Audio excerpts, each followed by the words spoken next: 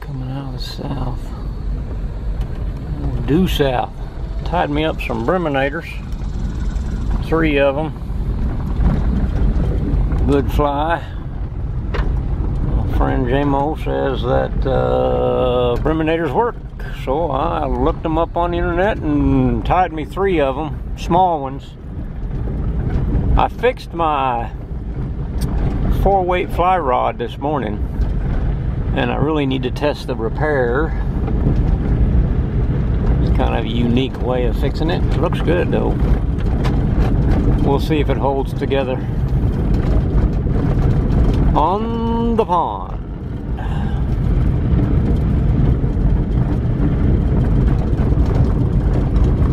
Alright, we're just gonna fish just a little bit. Up here, just a little bit of fishing. I don't have a lot of time. I stayed late at work. Oh, I just wasn't in much of a hurry to get anything done.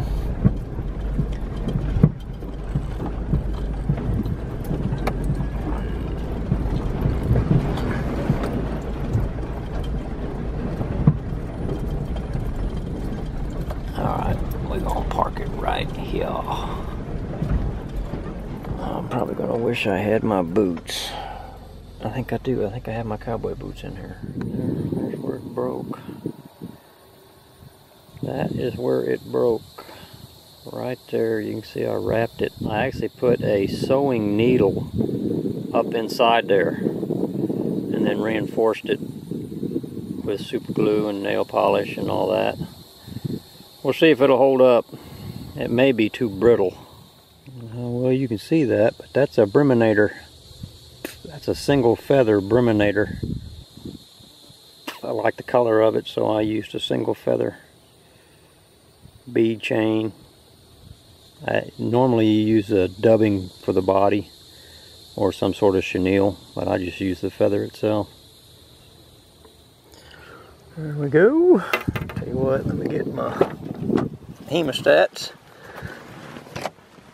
Horsefly in my car. Put my rack on there. I reversed my boat, and that works a whole lot better. Makes the back easier to deal with. Alright, got my hemostats. Thick pair of them. Lost all the other pairs. Alright, sun is down. I got just a few minutes, but that ought to be enough to let me know if a Briminator is going uh, to work. Should be a relatively slow sinking fly.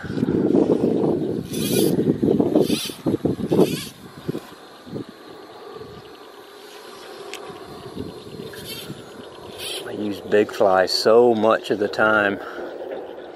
A little difficulty going back to the tiny stuff.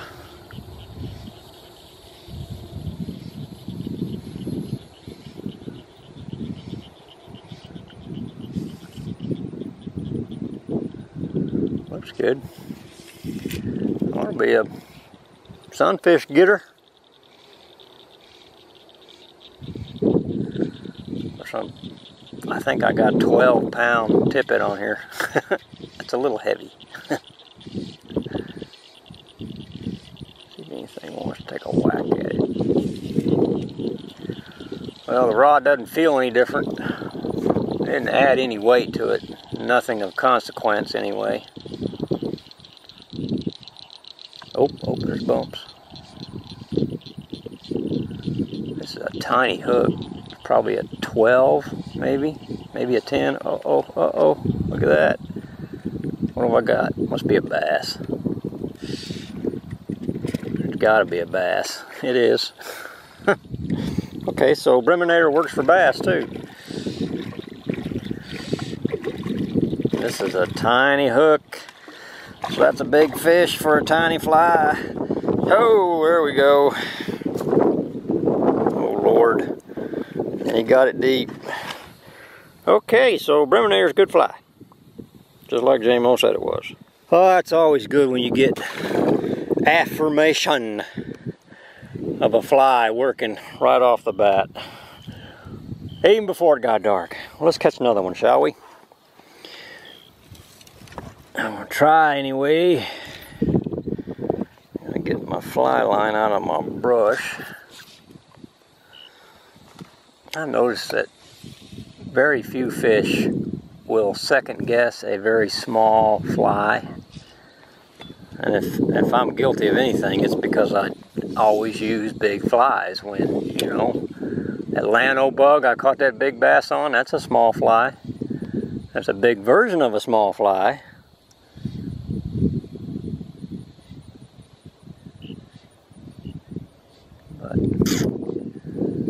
I don't know. It don't matter. Catch fish, that's the idea. Oh, there's another one. Now that's fighting like a brim. Oh, that must have been a brim. That was fighting like a brimmy. Ain't got no catfish in here. That definitely fought like a brim. Good one. Sure I'm not messed up. This thing is supposed to mimic a dragonfly nymph or a damselfly nymph. Don't, don't look like much, does it? Ain't much to it. a small hook, bead chain, and a feather. And some thread.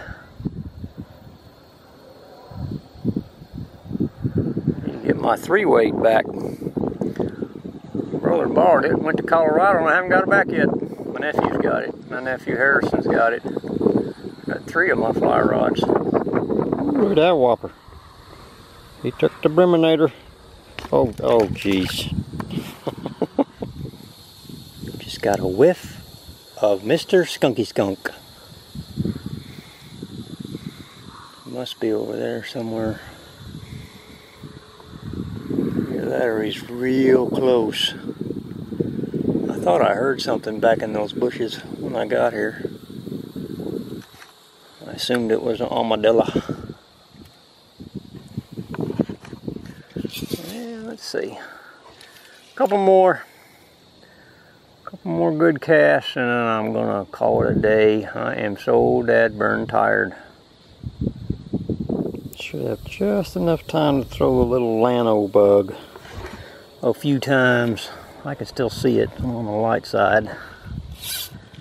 Let's see if they like it. I keep coming back in these shallow water. There's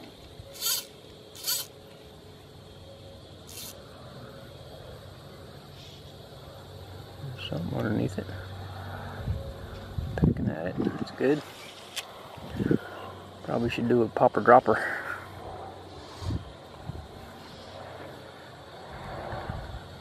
Put a bigger llano bug and then underneath that put a briminator. Oh, what's that? Little bitty fish.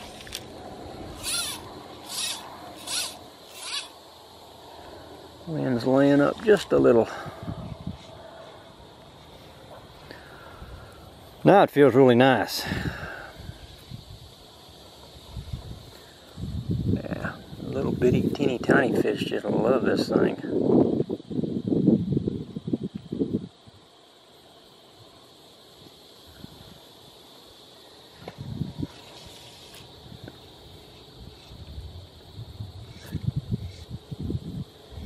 See if anything will deeper water. See that little bug swimming.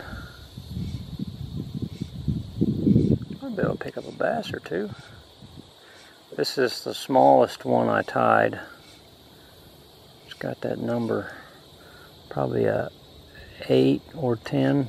Boom, oh, I pulled it away from, that was a bass.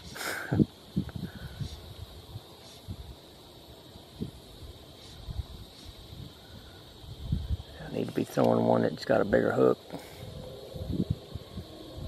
Ooh, that one, I just saw something turn on it. It's underneath it.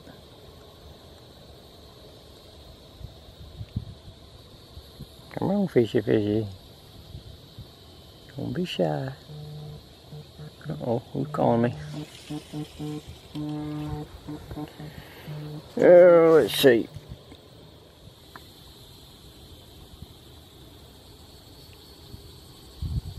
Cool.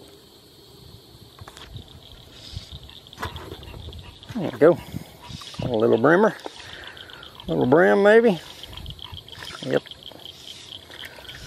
What I do is put it out there now. They'll start gathering up underneath this thing. Yep. Hello. Thanks for coming. Look at that. Look at that. Look at that.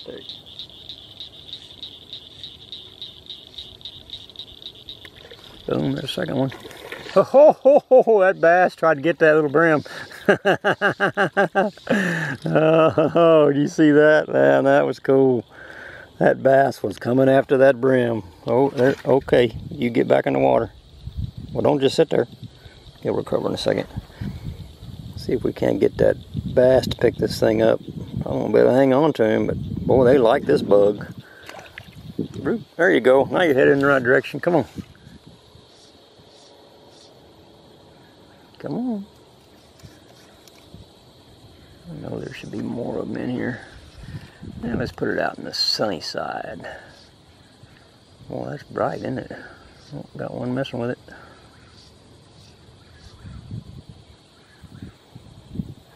You'll see that pretty well, can't you?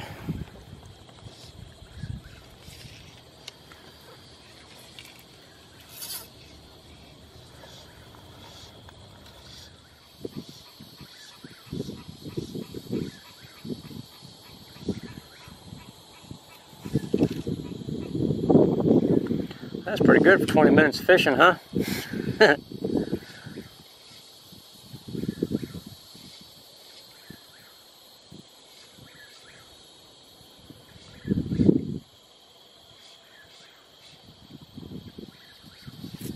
oh, poor fish.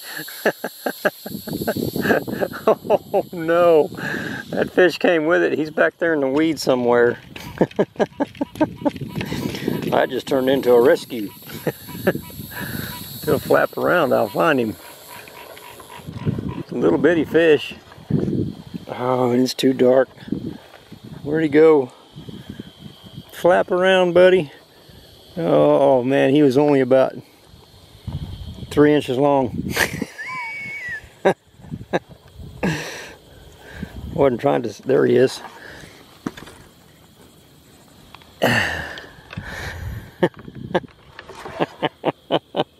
It's your lucky day, fish. Maybe. I'm gonna put you back. Ah, got a big old horsefly in here. Ooh, the grass is so tall I can't tell where the road is. Not that there's a road here, but there's a couple little fire pits in here somewhere. I'd mow this grass, but the cows are gonna appreciate this tall grass in another month or two. All right. Hey, thanks for watching. Y'all be good. Bye. Big old horsefly. What folks, let me show you how you tie a briminator. It don't take but just a short time. I got some gold bead chain. Oh, probably Probably going to use the next size up in the hooks. There we go, that's a good one right there. I'll use that hook, you can see what size it is. And tie it up real fast. Okay, real quick like.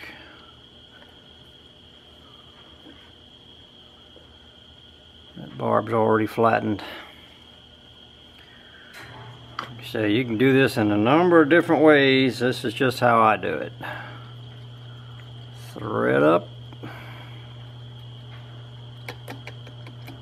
take it back about to the point of the hook. You take a nice and I like these pale pale yellow flowers. I mean flowers feathers. These pale yellow they're almost tan. What you do is you take from way back here you take a little bit of this. Maybe a little more. Well that that's probably good enough. But hang on to the feather take a little teeny tiny bit and put that in the tail oh buddy you got to get in my lap don't you I'm gonna do this one very much like the video I saw little tiny tail run it up tie in some bead chain. Like the fella said in the video, which I've always done it this way, you tie them on first, then you cut them loose. Thank you, buddy. It's hard to tie with him in my lap. Alright, a couple figure eights up underneath. Make sure that stays in place. Alright, now you're going to need some kind of dubbing for body. All I did was take the feather and pull it like this. I went back to the back of the fly. I'm going to palmer this, but I'm going to make it. Alright. Pull that forward just a little, get it out of my tail. There we go. Head back with it. Get up in front. And come up to the head with it. And what I'm going to do is just roll this around it and make a nice looking little body. Don't worry about those fibers going crazy and hanging out. I'm going to flatten them all down. Wow, that's coming out really well, really quick. Alright. There we go. Now I'm going to push it all back. Come up around my eyeballs like this. Alright. I'm going to turn that hackle into a body simply by going down and encapsulating it like this. See? Now I got a body. I'm going to come back up very gently. Try to keep from crushing it. Now on this one I'm going to give it a little bit more lighter colored hackle feather. And I think on my other ones I actually have too much. So I'm not going to use quite as much just a couple of turns of this. I'll get it anchored. A few more. And then just give it a very sparse hackle that is probably enough right there Yep, that's enough.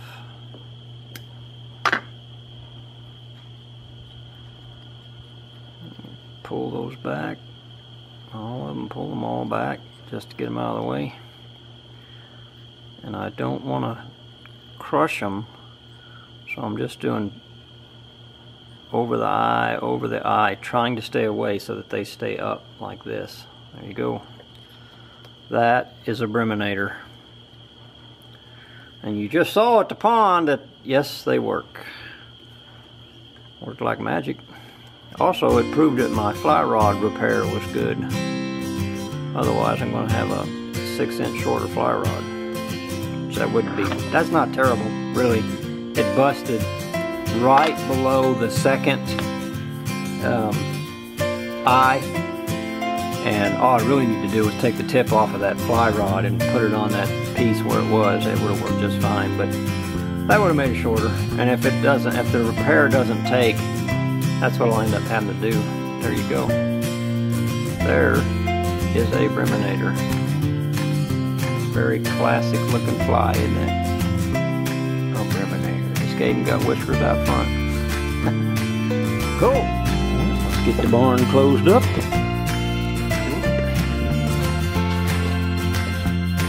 Cut the lights out, close doors. Oh, this will be a good evening to work because it's nice. Look at Buddy, he thinks he owns this place. that is a pretty cat, isn't it?